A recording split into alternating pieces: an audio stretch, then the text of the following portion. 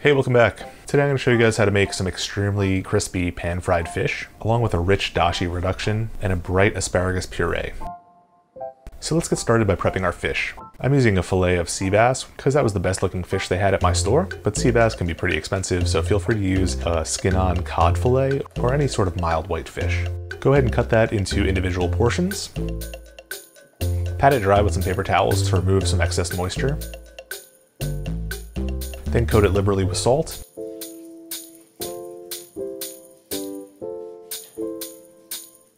And throw it in the fridge till we need it later. This will remove the excess moisture from the fish so that when we go to fry it, it crisps up real nice.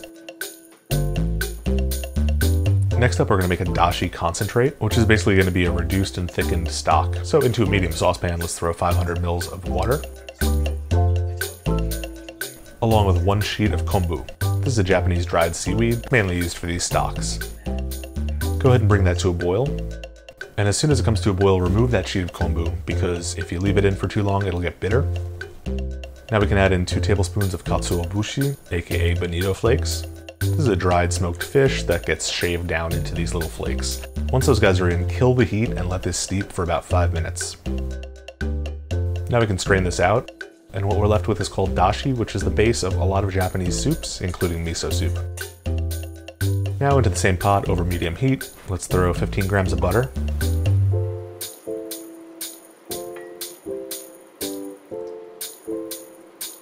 And once it's melted, we can go in with a shallot that I've cut in half, cut side down,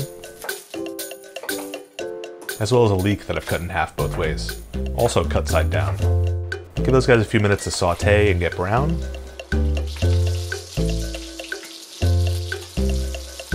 Then we can go in with 125 mils of dry sake. If you don't have access to sake where you are, then feel free to use a dry white wine, like a Sauvignon Blanc. Maybe even a dry Chardonnay would do well here. Deglaze the bottom of the pot by scraping up all those brown bits. Now we can add back in our dashi, as well as 15 mils each of mirin. That's a sweetened rice wine, similar to cooking wine and 15 mils of dark soy sauce. This is richer and less salty than regular soy sauce, but feel free to use the regular kind if you don't have access to dark soy. Now reduce the heat to low and let that simmer for about 30 minutes.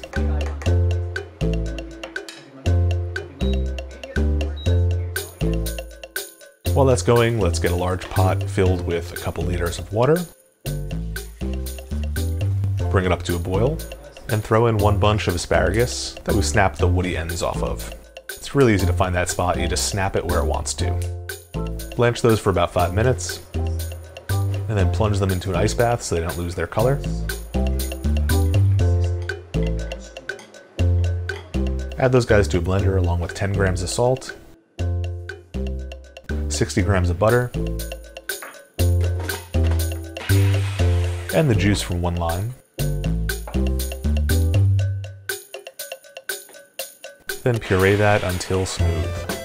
And optionally add 100 milliliters of the dashi to thin out the puree and add some extra flavor.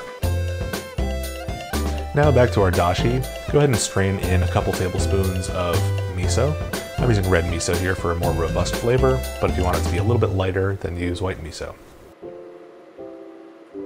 Now let's strain that all out so we get out the shallot and the leek.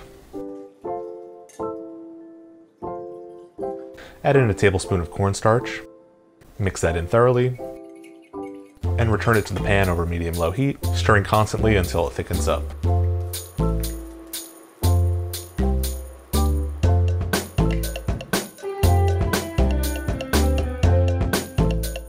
Now finally back to the fish. Let's remove it from the fridge, pat off all the moisture that's risen to the surface, and season it with some salt. Now into a medium skillet over medium heat, let's throw 60 grams of butter. I accidentally put in twice that before I realized it would be way too much, so just use 60. Not everything has to be covered in butter. And once that butter has melted and stopped foaming, place the fish in skin side down and let it crisp up for a couple minutes.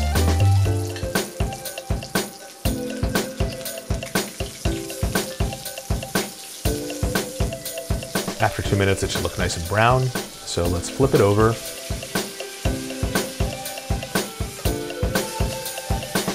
throw it into a preheated 200 Celsius oven for about 8 minutes just to make sure the fish is cooked through.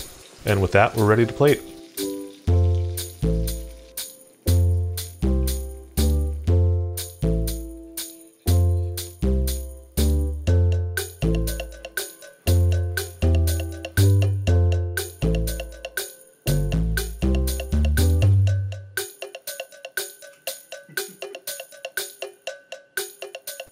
So the skin is just shatteringly crispy. The fish is delicate and buttery. That dashi concentrate is rich and bold. And the asparagus puree is bright and acidic and it just cuts right through all that richness. Now the techniques in this are pretty simple and the ingredients are all available online. So it should be pretty easy for you guys to accomplish this at home. And leave a comment down below if you do. See you next time. Cheers.